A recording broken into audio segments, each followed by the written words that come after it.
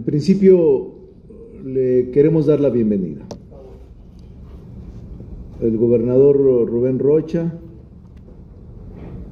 es eh, un hombre humanista,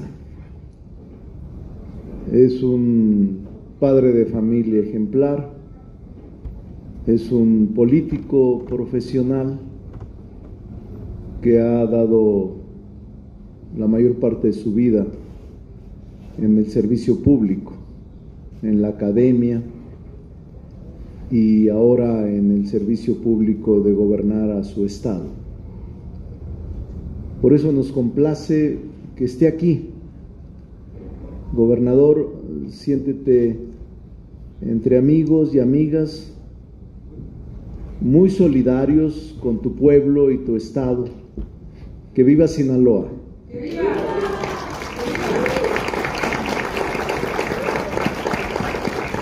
Siéntete, siéntete en, la sede del Congreso de la Unión. Y también te queremos expresar que estamos seguros de que saldrá adelante Sinaloa, que esta etapa que está viviendo el Estado se va a superar con el apoyo de la presidenta Claudia Sheinbaum con el apoyo de las instituciones y con tu propia capacidad y talento como gobernador de Sinaloa, van a salir adelante los sinaloenses y las sinaloenses. Yo ya conversé un, un, buen rato con él sobre la situación y también aceptó saludarlos porque le dije, Hoy es gobernador, allá hay gente que te quiere saludar y aceptó de buena fe, de buena gana platicar con ustedes y yo acepté que estuviera la prensa, aunque ya habían ya chacaleado al gobernador a su llegada. Así es de que el eh, gobernador tiene la palabra para un saludo y a todos los diputados y diputadas Gracias por estar aquí con mi gobernador de Sinaloa. Démosle un aplauso a Rubén Rocha.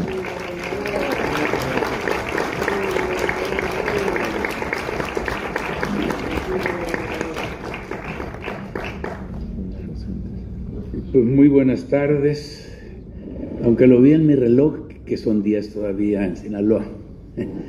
Eh, quiero agradecerle a coordinador, al diputado Ricardo Monreal. Somos muy conocidos. Eh, cuando él aspiró a la gubernatura en Zacatecas, me acuerdo, Ricardo, que te acompañamos. Despuésito, ese mismo año, yo, o el siguiente, yo fui candidato a gobernador también en Sinaloa, 98. Lo fuimos del PRD, ambos. Él ganó y yo me quedé en la orillita, no se crean, tuve 18.5%. Ya era una votación importante. El presidente de ese partido en aquel entonces era el licenciado Andrés Manuel López Obrador, el presidente nacional. Cuando ya se había ganado Zacatecas, se ganó Tlaxcala, se ganó Baja Sur, me dijo, se acabó el dinero ahora te voy a acompañar y anduvo ranchando conmigo, el eh, presidente querido. Y, no fue el, único, la única vez que fui candidato. Eh, fui el 86, fíjense ustedes, muchos no habían nacido, por supuesto, yo creo que no habían nacido el 98. Eh, el 86 también fui candidato. Fui candidato del PESUM, mis adversarios fueron eh, Francisco Labastida del PRI y eh, Maquio Cloutier de el PAN. Ambos posteriormente fueron candidatos a la presidencia de la República. Y nosotros éramos una izquierda muy, muy testimonial, muy chiquita. Eh, recuerdo que yo escribí un libro sobre ese tema sobre esa, sobre esa elección. Eh, y recuerdo que decíamos que eran contradictorios porque la izquierda universitaria gobernábamos la Universidad la Autónoma de Sinaloa. Pero a la hora de que les pedíamos que votaran por nosotros para gobernar eh, eh, al pueblo, no nos tenían mucha fe. No votaban por nosotros. Entonces fui dos, tres veces fui candidato a, gobernador. Ya me tocó el 2021, la cuarta transformación, Morena, y gracias al gran movimiento que todos hemos construido y que hemos empujado desde diferentes trincheras y desde diferentes momentos. Yo este, soy eh, beneficiario de la 4T. Por lo tanto, tengo un profundo compromiso con los principios de la 4T. Estoy gobernando Sinaloa atendiendo la honorabilidad que me dan los principios, el respeto a los principios de la cuarta transformación. Y, este, y empujando eh, la transformación de Sinaloa a partir de sus principios. Ahora, ¿por qué debo decirlo? Con la prensa y sin la prensa, eh, en primer lugar, quiero agradecerles a las diputadas, a los diputados que están aquí. Hace un rato estuve con las y los senadores. Ahí me encontré a muchas compañeras y compañeros que están religiéndose. Fueron mis compañeras. Ricardo fue mi coordinador del grupo parlamentario. Me tocó ser presidente de la Comisión de Educación en la Cámara de Diputados, senadores.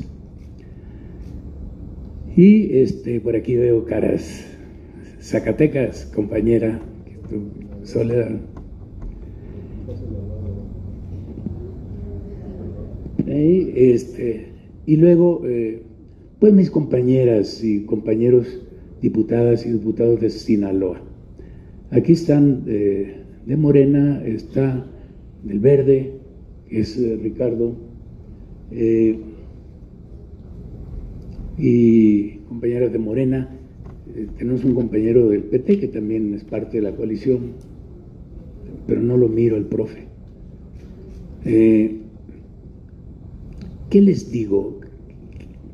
Lo que hay en Sinaloa ahora en materia de inseguridad debiera, fíjense cómo voy a usar el, verbo, debiera corresponderse con la magnitud del hecho que le da origen a este problema que vivimos. Debiera. ¿Por qué? Lo remito al 25 de julio, cuando atrapan a Ismael El Mayo Zambada y lo atrapan de manera muy sui generis. A mí, durante mi gobierno, Ricardo lo sabe, lo saben todos, eh, el gobierno federal ha hecho, eh, atrapado por lo menos a tres importantes. A eh, Caro Quintero y luego a Ovidio Guzmán en lo que se llamó el segundo Culiacanazo, y al Nini. Se han atrapado otras personas del mundo del narcotráfico. ¿Cómo participa mi gobierno en ello? Somos invitados, porque este es un tema del gobierno federal. Pero la coadyuvancia que se le pide al, al gobierno del Estado la tienes que dar, estás obligado a darla. Y la dimos. Ahí donde se nos pidió fuimos expresamente participantes de los hechos. Bien, en esta ocasión no fue el gobierno federal el que fue a atrapar a un líder del narcotráfico. Al parecer, hubo, inicialmente se creía un acuerdo de juntarse. Y luego eh, se ha desmentido esta versión, hipótesis inicial. En, el, en la idea de que no hubo tal acuerdo, sino que se juntaron por un engaño y una de las partes eh, atrapó a, en este caso, al líder eh, del narcotráfico, Ismael El Mayo Zambada. La otra parte son los conocidos chapitos. Pero los sui generis además está en el hecho de que se dijo que a esa reunión presuntamente amistosa asistiría el gobernador Rubén Rocha Moya. Bueno, este, ese fenómeno que se dio entonces, además de generar, es decir, no se trata de cualquiera, un personaje de la delincuencia de legendario del tamaño de lo que se tiene y abriendo una contradicción inmediata con otro grupo, pero además generando un problema diplomático entre Estados Unidos y México. Es todo es eso, pero además, ya se los dije, pues con la presunta expectativa de que el gobernador estaría ahí. Entonces, todo eso hace que el fenómeno del 25 de julio sea un fenómeno complicado, difícil. De tal manera que cuando digo yo debiera corresponderse con la magnitud del hecho inicial, generador de esto, pues no. Finalmente tienen en Sinaloa, claro, una confrontación entre los dos grupos, lo que nos indica que en efecto la versión de que no iban de acuerdo fue cierta, el, grupo de los chapitos eh, atrapa a eh, el Mayo y este, lo llevan a Estados Unidos. Lo que puede haber ahí es, claro, es que el gobierno de Estados Unidos, sea quien sea, tenía conocimiento, porque entra un avión al al espacio aéreo de los Estados Unidos y este, llega, cae y ahí los están esperando eh, agentes de la policía norteamericana y atrapan tanto al señor Zambada como a Joaquín Guzmán López. Bien. Tardaron unos, bueno, tardó del 25 de julio al 9 de septiembre para que iniciaran hostilidades entre los grupos. Cuando estas se dan, pues nosotros estábamos justamente esperando qué iba a pasar. Cuando estos se dan, entonces la autoridad inmediatamente tomamos las medidas correspondientes. En aquel entonces el presidente López Obrador nos apoyó con todo.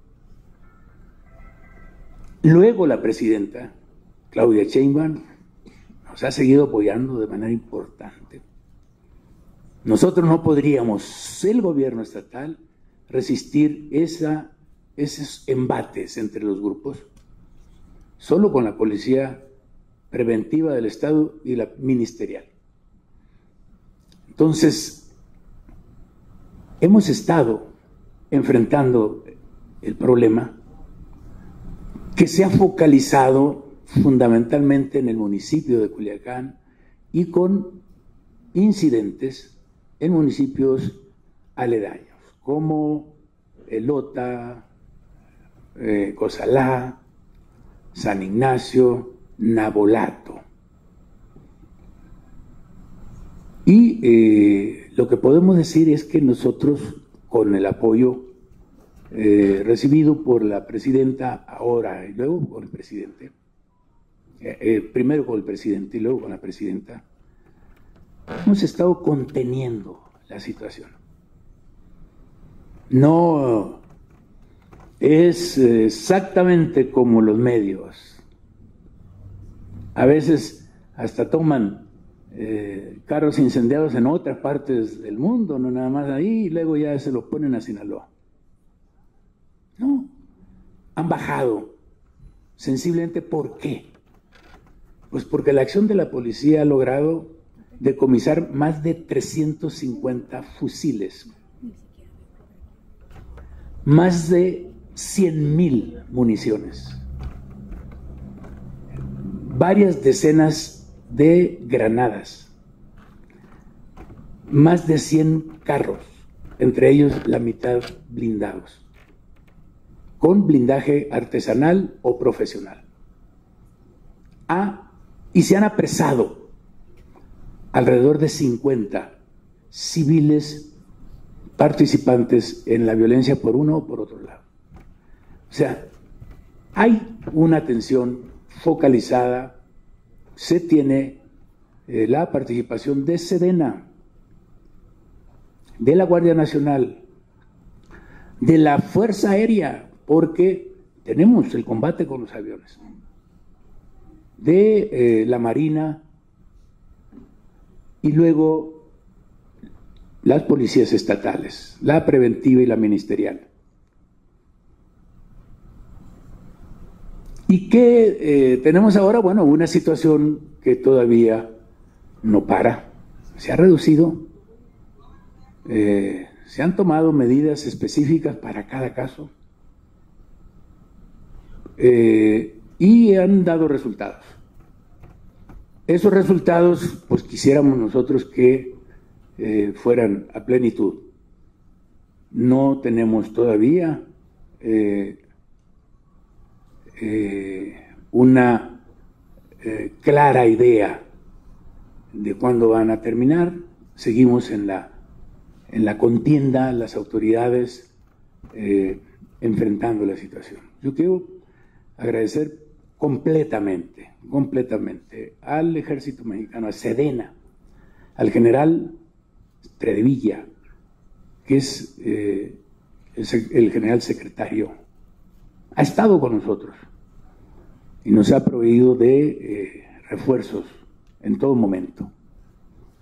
Al eh, almirante Morales, el secretario de eh, Marina, al secretario García Harford, que ha estado con nosotros allá y que han ayudado.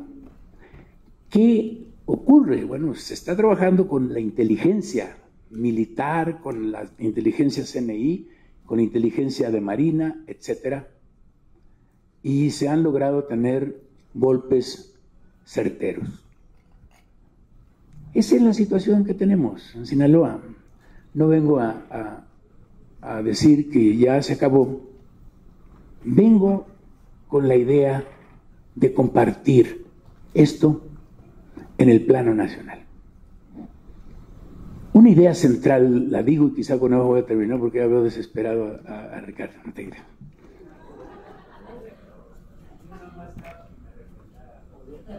¿Mm? Que me refrendara el tiempo. Muchas gracias, muy amable. Eh, ha quedado claro una cosa. Eh, se ha luchado durante todo este periodo contra nuestro movimiento, contra la 4T. Miren, el 2021 ganamos Nayarit, Sinaloa, Sonora y Las Bajas. ¿Y qué se dijo inmediatamente?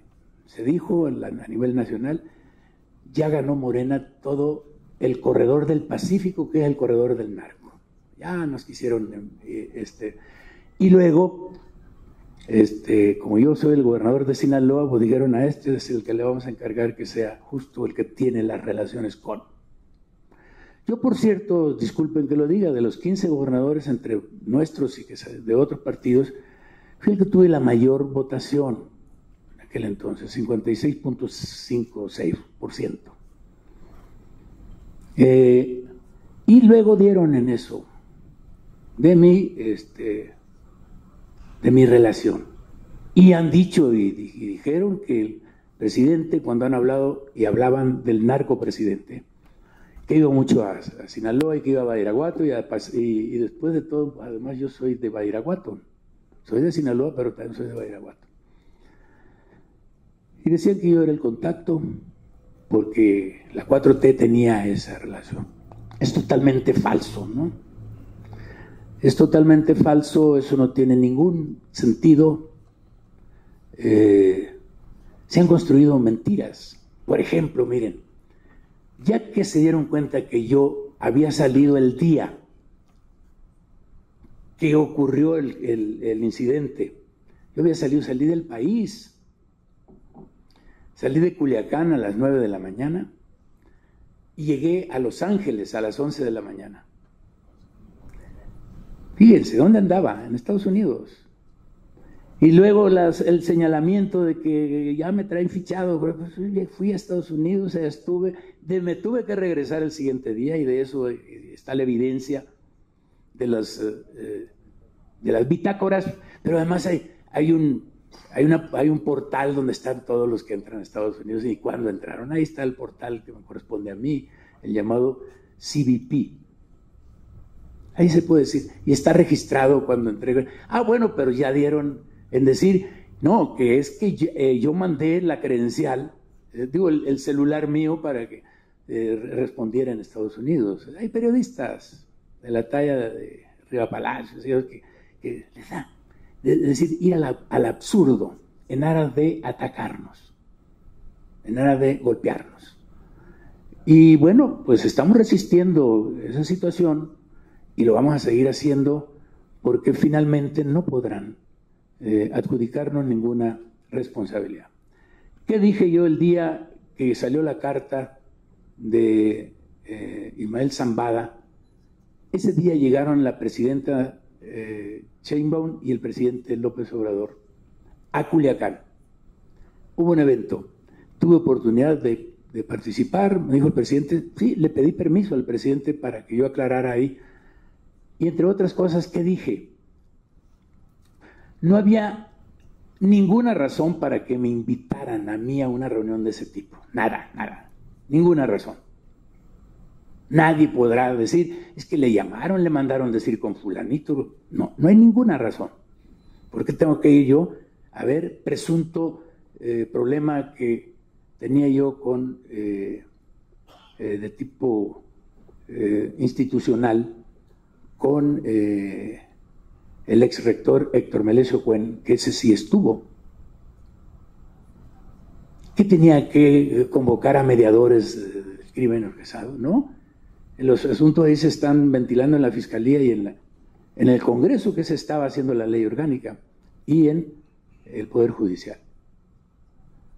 Y dos, este, como no, no había ninguna razón, dije yo ahí, si le informaron al Señor que yo iba a estar, lo engañaron. Y si, o le mintieron, y si les creyó, cayó en la trampa, porque yo ni iba a estar, ni estuve, ni tenía razón por qué. Bueno, este, ese, ese tema, claro, ya que se vio que no, efectivamente no podían comprobar una asistencia de una cosa, pues empezaron a darle porque era mentira que yo había ido a Estados Unidos. Y, y, en eso han estado y se nutren y que no, que sí, etc. Han llevado al grado máximo de la mentira, de la difamación, eh, para atacarnos. Y tiene eh, muchas veces este, se eh, me asocian eh, con la eh, narco gobierno que supuestamente hizo Andrés Manuel, e incluso hay una señora que es, dice ser investigadora de narcotráfico, que por cierto yo también soy, yo, tengo un libro sobre el narcotráfico, se llama El disimulo, este está en internet hace mucho, es que, y este, y ella dice, mi relación. Y le dije yo a mi jefe de asesores, chécame página por página qué dice de mí. Y nada, ¿qué dicen? Que fulano, que me engano. Dice, en 98, ganó eh, eh, la votación en Bairaguato. Mentira. Bairaguato seguía siendo priista y ganó los priistas ahí. Ah, pero ganó el Mocorito. Mentira, es otro municipio. Y también dice ganó en Salvador Alvarado y Angostura. Eso es cierto. Lo que no es cierto es que dice que Mocorito, Salvador Alvarado y los otros dos municipios, pues me beneficiaban a mí porque colindan con Sonora y eso no es cierto, es una falta de conocimiento de la geografía, son prácticamente del centro del estado, no tienen ninguna colindancia con, el estado de Sonora. Es decir, escribir un libro con esas, eh, con esas eh, faltas de rigor, el, coordinador es un escritor excelente de libros eh, y sabe que no puedes tener una falta de rigor en sentido. Pero eso le dio para que me pusieran una fotografía en la, en la portada del... y, pero puso también al presidente Andrés Manuel, le dije, bueno, pero menos mal que estoy con el presidente aquí en, la portada. ¿Dónde, pues? Ese tipo de, eh, cosas no, eh, no se corresponden de ninguna manera con un ataque serio. Bueno, ya dije demasiado, pero tenía que decirlo. Tenía que decirles eso. A nosotros nos están atacando ahí, sobre todo porque representamos de alguna manera a parte del gobierno de la Cuarta Transformación. Y este, nosotros, quiero decirles a ustedes, eh, queridas diputadas, diputados y todos los que están aquí, estamos actuando con la honorabilidad que nos dictan los principios de Morena. Muchas gracias. Muy bien, gobernador.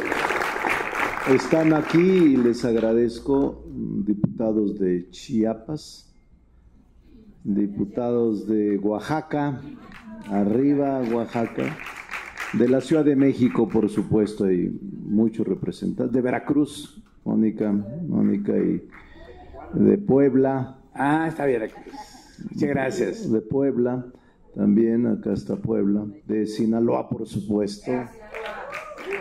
Del Estado de México, Pedro y la gente de Aguascalientes, de Jalisco, de migrantes mexicanos, ah, representantes de los migrantes Tacheto, de Nayarit también, de Zacatecas, Baja California. Soledad.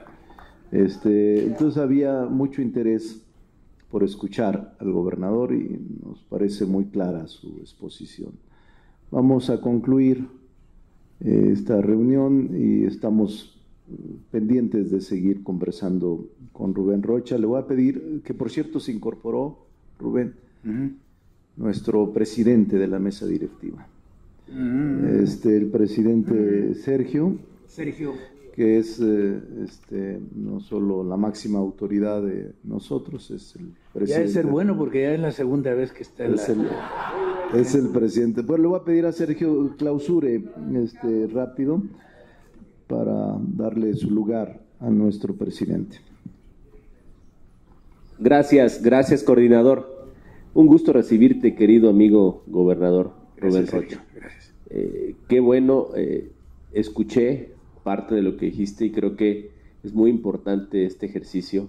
Aquí en la Casa del Pueblo, con tus amigos y amigas diputadas y diputados que te conocemos.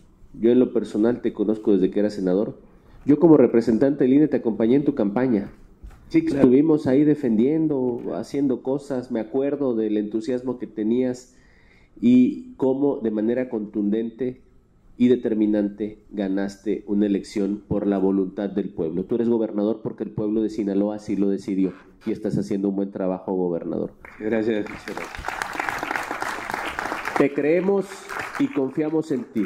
Tus amigos, diputadas y diputados, te acompañamos, te arropamos y te vamos a dar todo el apoyo necesario en esta situación eh, y en tu estado. Cuentas con nosotros. Qué bueno. Muchas gracias. Nada más, nada más. Quiero agradecerle al general Hernán Cortés, que es el comisario nacional de la Guardia Nacional. Se me había pasado, por favor, junto con el general secretario Trevilla, el almirante secretario Morales y este y a Omar García Harfuch, que ha estado muy atento a nosotros. Y aquí a Ricardo Monreal y a Sergio y a todas ustedes. Muchas gracias, gobernador. Pues te expresamos, mi gobernador, nuestra solidaridad con el pueblo de Sinaloa, también a los medios de comunicación como el debate que han sufrido embestidas, también nuestro abrazo y solidaridad. Saludos y buenas tardes. 咱们咱们咱们。